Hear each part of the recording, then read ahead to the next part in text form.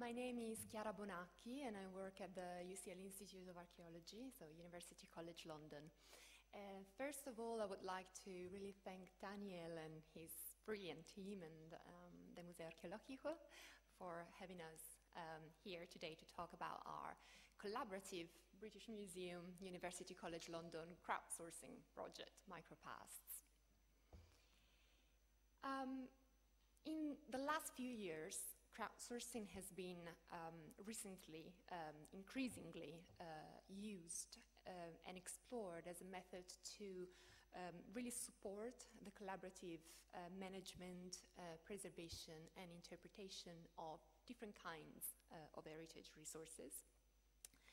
And uh, initiatives have really fallen mainly into two categories. So um, there are initiatives that have really focused uh, on the crowdsourcing of collections belonging to one uh, institution, and we've seen uh, the great example of LibCrowds, and other initiatives like Micropasts um, have instead focused on trying to enable the crowdsourcing of collections and data that come from different uh, galleries, libraries, archives, and museums. And to our knowledge, Micropasts uh, has really been the first crowdsourcing platform focusing on archaeology specifically. Micropasts was set up in 2013 uh, as a collaboration, as I was mentioning, between uh, the Institute of Archaeology, University College London, and the British Museum. And it was funded by um, uh, the UK Arts and Humanities Research Council, uh, which is really the main public funder for arts and humanities research projects uh, in the UK. The aim of Micropasts has really been that of supporting, um, developing collaborations between uh, universities, museums, archives on the one end, and members of the public on the other, in order to conduct research into the human past together. And um, to do so uh, in three main ways, really. The main component of micropasts um, has been crowdsourcing. So co-producing, producing together uh, research quality data in archaeology, history and heritage via crowdsourcing. Then we've also experimented a little bit with crowdfunding, uh, so how we could use crowdfunding a crowdfunding platform to microfinance community archaeology and community uh, history uh, projects. So projects developed essentially by mixed teams uh, involving both researchers based in um, museums or universities and um, for example, local communities or archaeological societies. Uh, and finally, we've been using forum technologies in order to really discuss how um, research data could be used um, and uh, is used uh, by us. Um, so data that has been, the, the use, the value of um, data that has been crowdsourced for archaeological research. The project started in 2013, um, and after about six months of development, we could actually launch uh, the crowdsourcing website, um, which you see here, crowdsource.micropasts.org, and uh, the community forum. And um, our development work uh, really um, was a collaboration with Daniel, with PyBossa, um, as regards, uh, of course, the, the um, crowdsourcing platform, which relies on open source software uh, and on the PyBossa, uh, the framework developed by PyBossa. But then progressively, we've been trying to develop and deploy crowdsourcing applications in-house. So we've tried to skill up um, our team so that we could uh, manage uh, the process from a technical point of view in-house using um, GitHub for version control. On the crowdsourcing um, website, Micropasts, members of the public can participate in a number of different um, applications to create um, different kinds of data. And um, in the majority of the case, in the majority of cases, um, these are um, applications that are useful to create uh, data for which a specific research use is anticipated up front.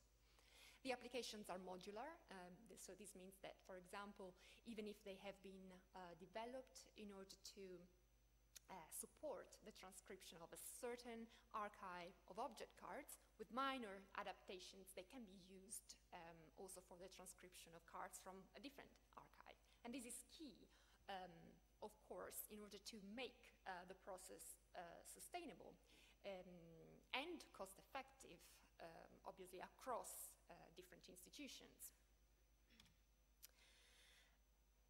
One um, applications that we've been deploying uh, quite a bit um, is the one that you see here for the transcription and georeferencing of a very large, um, well, not as large now I feel compared to what was presented by Nora, but uh, archaeologically speaking, a very large archive of um, about 30,000 um, object cards that document uh, metal finds that were retrieved um, in Britain in the 19th and, um, and 20th uh, centuries. Um, the National Bronze Age um, Implement Index, and Jennifer will talk about this case study um, in, in uh, further detail. Another application was developed in order to uh, ultimately um, 3D print uh, these, um, for example, um, small um, flanged axes and other um, objects. Um, this is a new application uh, we created, and we called it 3D photomasking. So the point is really to ask for help to draw the outlines of artifacts on sets of photos that have been taken all around the artifacts so that um, the masks, uh, the mask photos can be used offline in order to create, um, again, research quality 3D models um, of the artifacts. Uh, we also had other applications, for example, for the public indexing of um, archival material um, via tagging. Um, so, for instance, historical photographs. Um, or, uh, for example, applications that used um, uh, tagging uh, in order to test vocabularies for the description of um, artifacts, as in the case of Project Andvari, so the description of um, early uh, medieval artifacts um, in Northern Europe, which um, were housed in different collections. So we, here we have also an aspect of open and linked uh, data, so linking up data that actually um, is geographically dispersed. Our validation process um, was really very much based on redundancy. Uh, so we would have two to four, uh, depending on the application, volunteers um, completing um, the same task, so the same transcription task, the same masking task, um, and then, for example, in the case of transcription, there would be first a more experienced collaborator um, looking through the data um, and suggesting a valid answer. And then um, on the British Museum end, um, work was done to consolidate um, the data and just finalize it. Uh, in the case of the masking, instead, we've been really picking the best mask. We've, we've tried several uh, pathways and ways of doing this. But in the end, we found that the most cost-effective was picking the best mask um, and just using that for the modeling offline.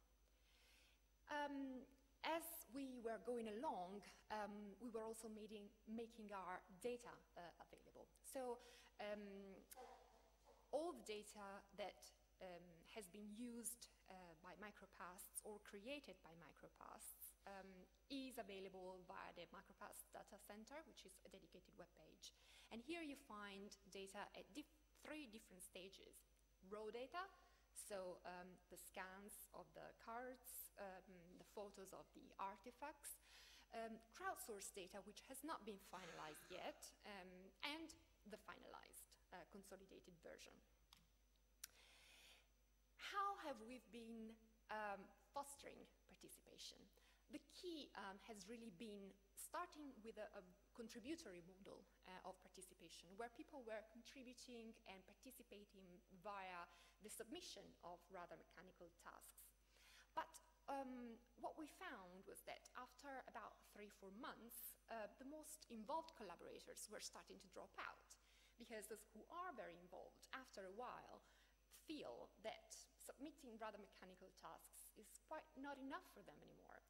So we were very responsive um, in this process. And to sustain participation through time, we uh, decided to go a step further and, um, and really uh, enable uh, more uh, deeper uh, ways of participating, uh, more co-creative, and I will explain how, and collaborative.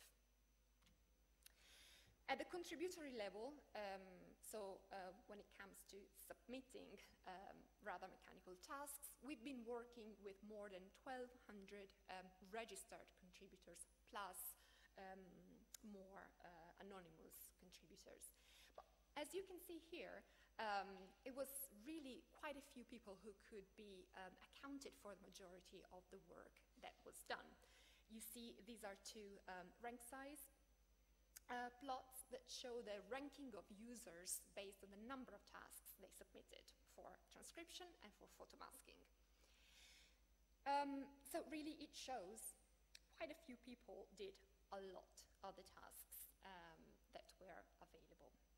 Um, and here I should also say that um, something that um, uh, I've been focusing on on the project uh, particularly was the study of participant behavior motivations and profile. Uh, so as, um, as soon as Micropasts launch, launched, there was also a, um, a, research program that launched at the same time, looking into uh, participant profiles, behavior, and motivation. And this was quite important for us to, um, along the way, uh, in order to be responsive and to really understand uh, the process uh, that we were creating and progressively adapting. Um, something that um, it was possible to see um, is also that the photomasking, uh, so the part relating to the 3D modeling, was slightly more democratizing. So um, participation, um, the distribution of participation was slightly less skewed. Uh, and also, um, the photomasking, uh, so image-based, uh, tended to attract, uh, tended to attract higher number of younger audiences, which of course for museums, particularly in the UK right now, is um, often a core uh, aim, so to bring in the younger, young people, um, the, the 16-24 segment. Um, at a co-creative level, we've been working with about 100 uh, of the people who were submitting tasks, and we've been inviting them to um, well, we've been inviting all participants, but 100 of them uh, actually stepped in. Um, and we've been discussing with them um, through the forum, through social media, and through personal emails, because um, we found that some people just prefer the direct contact. Um, ways of bringing micropasts forward, but also bringing um, the, the, various, the, the, the participation forward. Uh, so we really literally asked what periods they would be more interested in um, uh, working with or collections and what other activities beyond uh, the, the, the, crowdsourcing, the submission of mechanical tasks they would be uh, interested in, in being involved in or what incentives they would have liked. Now mugs were popular but we didn't quite have the budget. So we responded uh, to other kinds of suggestions. Um, which were very interesting. Um, and um, what we found was that quite a few of the very involved collaborators really wanted to do something more than, as I was saying, submitting tasks. They wanted to be involved with um, activities that are a little bit more at the interface between the creation and the interpretation of the data. So for example, um, they wanted to be trusted to um, do the have a first go at consolidating the data, um, and they wanted to, to learn, essentially, how to create the 3D models using the masks that they themselves had created. And this is what we enabled. So we responded to that. Through the forum, we did training um, uh, on the 3D modeling aspect um, and also individual um, training on the transcription. And throughout, on top of this, we've been um, supporting participation by a number of resources a research blog, um, uh, but also a dedicated page um, of learning resources where uh, we made available information about the periods and the collections um, we were working with, but also the methods that we were uh, engaging with, from 3D modeling to crowdsourcing itself. And um, our original aim was really to try and engage two main audiences. Um, to tap into existing uh, communities um, established offline, uh, archaeological and historical societies, um, uh, and also uh, various groups of friends, for example, um, linked to the British Museum. But also, um, we wanted to engage um, an online and unknown crowd of people distributed all around the world potentially interested, we could guess, in the digital technologies uh, aspect or um, with a general interest about the past um, or in data management, for example. Um, and to engage the first group, um, we did um, quite a lot of personal um, tailored emailing, posting on certain web pages, sorry, uh, social media pages, uh, and so on. And to engage the second group, instead we did, um, we tried to do as much as possible with our very small budget, in fact, um, for this. Um, but we tried to do as much as possible um, uh, of uh, online publicity as we could.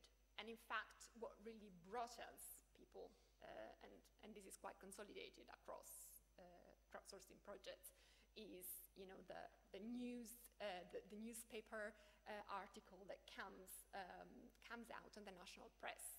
That's like a peak immediately. So um, paradoxically, um, to involve people in these newer technologies, relying on the older media, is um, potentially um, the best strategy to just attract new, uh, new people. Um, and because we had surveys coded in to appear after one in 25 tasks submitted. We also know that uh, we've been working with um, three quarters of contributors who do not work with archaeology or history as part of the main job, the job they do for living. This doesn't mean that they haven't studied the subject, it doesn't mean they um, are not passionate about it, but they don't work with it professionally. So we could actually, there is evidence of reaching out uh, the walls of the museum, reaching out the walls of um, archives and, um, and the universities, uh, of course. And something that is also really interesting um, to me is the fact that even though Micropasts um, in English, basically, with little translation here and there that we do um, in relation to specific applications, we've had um, involved contributors also coming from Greece, uh, France, um, and, uh, for example, uh, Italy. Um, and this has been because we've had a number of applications um, that revolved around the use of images. Um, the photomasking one with the 3D modeling, um, another one, um, in fact, developed by Etsy on tagging, um, image tagging. and this has been key to engage an audience that is quite spread geographically and potentially not very uh, fluent, uh, if we like, in English, but interested, for example, in photography. Um, motivations, so what, what leads people to actually do this in the first place? Um, there are three uh, main groups of motivations. A group um, is really shared across, um, can recurs also um, uh, in relation to um, in-person visitation of museums, for example. So uh, they participate because they want to have a learning or training opportunity for themselves or their family and friends. For example, they want their children to be engaged. Um, they want to just relax and have some sort of gaming experience. Um, so photomasking, for example, uh, uh, paralleled by one contributor to Candy Crush or something like that. Um, but also for the aesthetic pleasure uh, of looking at the cards, the calligraphy uh, of the curators that um, wrote them um, uh, in past centuries, or um, looking up, uh, the aesthetic pleasure of looking up um, uh, being able to look up the, um, the materials, the, uh, the objects um, very closely. Um, and there was an aspect of uh, materiality uh, that was mentioned uh, by, for example, a few of the contributors that we've been talking with. Uh, so even though this all exists in a digital um, space, nonetheless, uh, there is a, a, passion for actually exploring um, the object um, close up.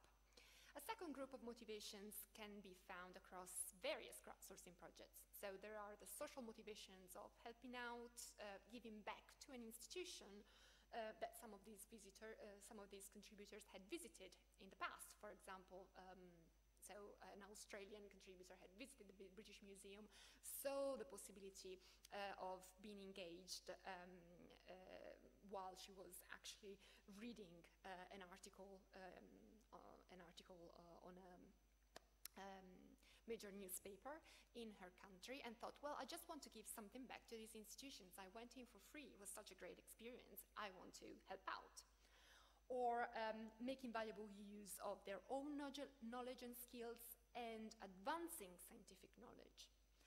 Competition is also a component, but only in, in, like very few cases. This became sort of out of control and needed to be managed, um, which we ended up uh, being able to without actually uh, blocking anyone because PyBossa wouldn't allow you to. Um, and the third um, group of motivations um, is, I think, uh, perhaps right now, uh, it feels um, something that fits uh, the humanities even more than science domain. So some of these participants mentioned the fact that they, for them, it was a way of reconnecting with um, a subject that they had studied, for example, at university, but for different reasons related to life, could not make a, a career out of. And it was a way to go, to go back to it uh, in their own time when they could actually do it. so um, just to um, conclude this overview before uh, passing on to Jen, um, what is the value or what has been the value of um, being involved in archaeological crowdsourcing? Um, for people, and by people I mean the team, us, uh, as well as uh, the collaborators, there's been huge skilling up. Um, also from a technical point. There's been an exchange. Our team was made up of people um, who were like Bronze Age specialists, um, or more on the computational side um, of archaeology, or more on the social side uh, of the uh, analysis and looking at um, participation in archaeology, and we've been really um, interacting with each other and exchanging knowledge around it. And perhaps this makes uh, just, um, uh, we found, well, we found that actually contributed to uh, our skilling up. And of course, Daniel was very useful and helpful for the, skill, the technical skilling up. Um, knowledge um, was gained and consolidated, and these are all things that have been mentioned by uh, our collaborators as results of their engagement. The possibility of getting recognition publicly uh, for their work and their skills, the skills they had gained. So, for example, via social media, they're all acknowledged. Um, their names all appear on the crowdsourcing uh, applications that are completed, on metadata, um, uh, on Sketchfab, where the 3D models are uploaded. We mention their names sometimes in research blogs um, as much as we can. Uh, enjoyment, of course. Uh, in one case, um, employment uh, as a result of the skilling up, of the recognition, the possibility to go back to the subject this person had studied, um, and being able to improve her CV, then a job, finally, in the subject she wanted to work with, um, data management um, in the heritage sector came up. And connectedness. So the possibility of having um, a group uh, of people online uh, with whom to discuss different um, potentially niche interests like uh, 3D modeling.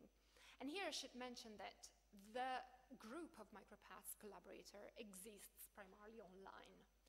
Some of them, uh, those, first of all, it's very geographically dispersed, so Canada, Australia, it's, uh, I mean, trying to organize a session on the forum to review the work that had been done Um, I thought it would take a couple of days with the time zones. It took like two weeks with lots and lots and lots of um, contributions, but it was very delayed. Uh, so what I was saying is that there is a crowd, sorry, it's, a, it's an online group. The majority of these people um, are not connected with each other. They're more connected with the institutions, but within this group, there is a more interconnected group of people which bonded when we were doing, for example, the training on the 3D modeling aspect and when we were doing, uh, when we were reviewing their work. Um, value for heritage, um, well, we developed um, new applications that are modular and can be used for different collections. Um, we have 150 completed applications, more than 100 3D um, models uh, done. I'll let Jen speak about the amazing work in the National Bronze Age Implement Index. Um, and innovation, uh, we think of, of process, um, because um, now a new grant uh, has been approved, and I was telling Daniel earlier. Uh, so the, the UK um, Arts and Humanities Research Council gave further money for a project um, that will look at the contemporary heritage of Iron Age, Roman, and early medieval pasts in Britain, and micropasts was written in um, as uh, and crowdsourcing as one of the research methods. So uh, to do the content analysis, um, we will um, use a little bit of crowdsourcing involving people in um, analyzing um, uh, various kinds uh, of data. So there has been also recognition uh, of the method for, from a, a public, the, the, main public um, funder for research in the UK. Now I'll let Jen talk about uh,